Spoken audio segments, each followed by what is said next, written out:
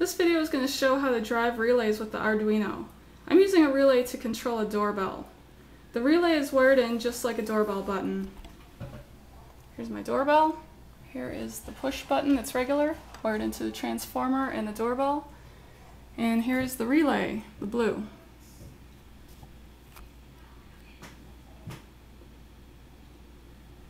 When the Arduino sends 5 volts to the relay, then the switch is closed, just like pushing the doorbell button. I found a schematic on the Arduino site that showed how to make the relay circuit. I'll put the link in the video notes. The relay I chose was from a Hobby Robotics article and I'll add a link to that.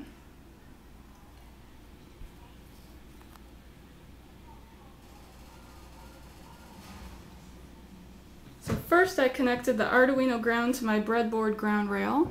That's right here to the blue rail, which is ground. Connect the Arduino 5 volts to the breadboard power rail, white to the red power rail.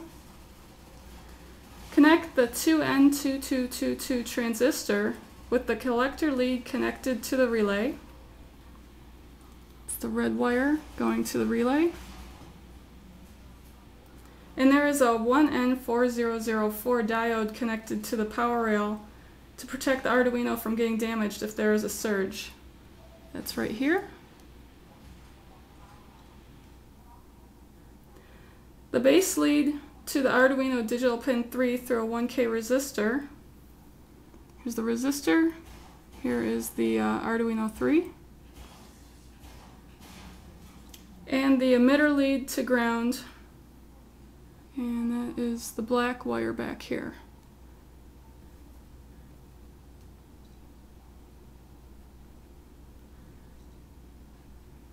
The other Arduino relay lead is connected to the power rail. There's a red wire back here.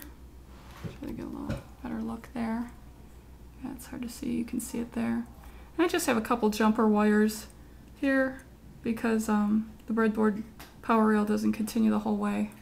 So you can also see, sorry I don't want to mess up these wires, the uh, black wire, that's the transmitter ground. And it's a little bit better there. Yeah, okay.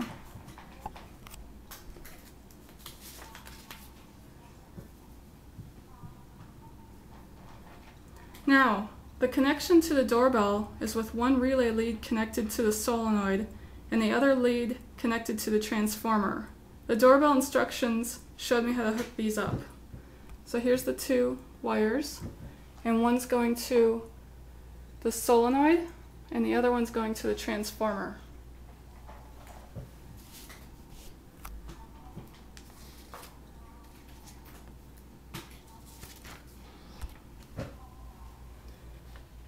Since my doorbell's transformer is bumped down the 120 volts alternating current to around 20 volts alternating current, I can put the relay on the breadboard.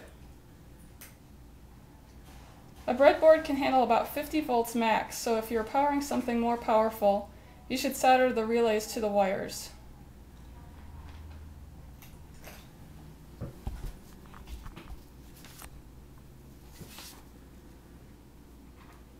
I've made two relay circuits, one relay connects to solenoid 1, controlled by Arduino pin 3, and the other relay circuit connects to solenoid 2, which is controlled by Arduino pin 2. So there's the other one, and you can see green and yellow, those are connected to 2 and 3. And I have them all on the, uh, there's one this is one chime, and this is the other chime. And uh, this would be like the front doorbell and the back doorbell, and that's what connects to the transformer.